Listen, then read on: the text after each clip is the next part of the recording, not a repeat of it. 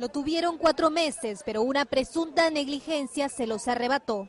Carmela Álvarez y su esposo dejaron a su bebé como de costumbre en esta guardería de los olivos para poder ir a trabajar. A las horas les avisaron que su pequeño había fallecido.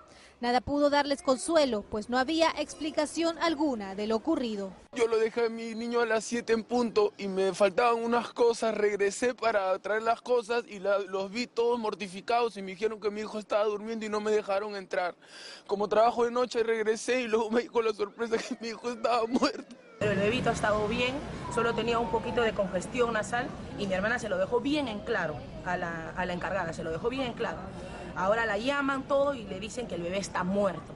Es negligencia de parte de ellos. La cuidadora de la guardería refiere que el bebé tenía una afección respiratoria. Cuando se dieron cuenta que el bebé no respiraba, ya era demasiado tarde. Ella dice que el bebé ha estado llorando. Su papá la ha traído todo, él ha estado llorando y la señora ha agarrado y solamente la ha tirado en la cuna y la ha dejado de costado. Y de ahí se le ocurre, en la ignorancia de este clima, la ha bañado el bebé y la ha dejado boca abajo. ¿Cómo lo va a bañar con este clima? Y ahorita su cuerpito le está con unas ropas diminutas. El cuerpo fue llevado a la morgue. Justicia, por favor, para mi hijo, justicia.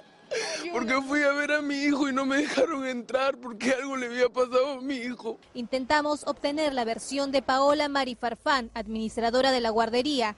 Tras la puerta, negó que exista negligencia alguna. ¿Para ustedes no hay una negligencia?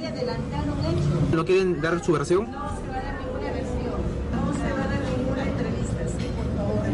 Aún se desconoce cuál será el proceso que deberá asumir la administradora de la guardería y los cuidadores.